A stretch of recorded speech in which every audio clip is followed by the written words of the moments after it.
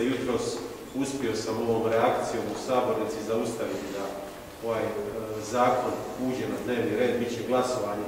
Predsjednik sabora nije želio riskirati, nije bio siguran jer vladajući u tom trenutku imaju većinu u sabornici, tako da još uvijek ovaj e, zakon o zaštiti pučanstva nije ušao na dnevni red Hrvatskog sabora, a ono što mi kao klub Mosta tražimo prije uvođenja novih mjera, raspravu, znači onome što je stožer do sada radio.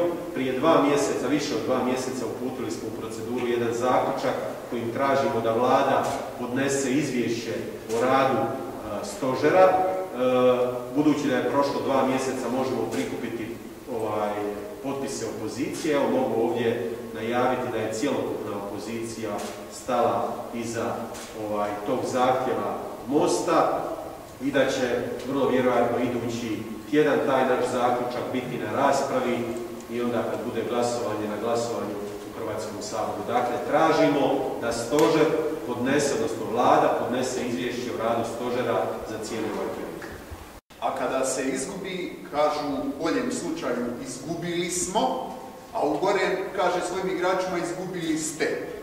E, meni se čini s premijerom Plenkovićem da se sada događa takva situacija. Podsjetit ću da je koncem svibnja, kada je opao broj zaraženih, premijer Plenković isticao da je njegova vlada pobjedila COVID-19. A sada, nakon što se devet mjeseci potpuno ignorira i zaobilazi i sabor, očekuju da svi dijelimo odgovornost pa i krivnju za ovo teško stanje u kojem se Hrvatska nalazi. To neće ići i na to nećemo pristati. Želim upozoriti da se od početka pandemije stvorila jedna pravna nesigurnost, da u pravnom smislu može i ovako i onako i vrlo upitno ustavno pravno utemeljenje i stožera i mjera koje donosi i sada ovih kazni koje će sutra vjerojatno uspjeti nam urediti. Ako su već izbjegli članak 17 ustava, ono što je recimo učinila Italija, sličnu stvar u našem članku 17, u početku je bilo problematično zašto nisu postupali po članku 47 Zakon o zaštiti stanovništva od zaraznih bolesti, jer COVID je zarazna bolest, taj zakon o zaraznim bolestima služi za zaraznu bolest. Umjesto toga oni postupaju po članku 22 Zakona o sustavu civilne zaštite. Zašto? Zašto priču ne vodi ministar zdravstva kao drugim zemljama, nego ministar unutarnjih poslova koji je na čelu civilne zaštite onda i izlože. Na tragu svega ovoga što je rečeno ranije, mi u klubu Mosta tražimo na temelju ovoga svega sljedeće.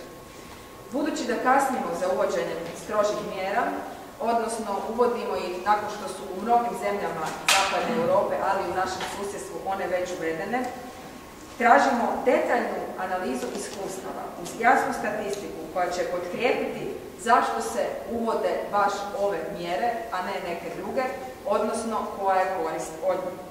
Drugo što tražimo, je konkretne brojke koje očekujemo da bismo te iste mjere ukinuli ili postrožili, a ne da njihovo donošenje, kao što je to sada slučaj, ovisi o nečijoj samovolji. Zašto 2000 zaraženih nije znak za alarm, a 3, 4 ili 5 jest? Zatim, mjere koje ovise o epidemiološkoj situaciji.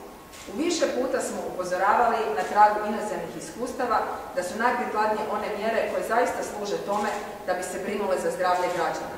Dakle, one mjere koje se uvode ovisno o situaciji u pojedinoj županiji ili čak u pojedinom gradu. Mi ponovo imamo načelne mjere koje vrijede za sve, neovisno o tome što se zaista događa na terenu. To smatramo pogrešnim i tražimo regionalni pristup.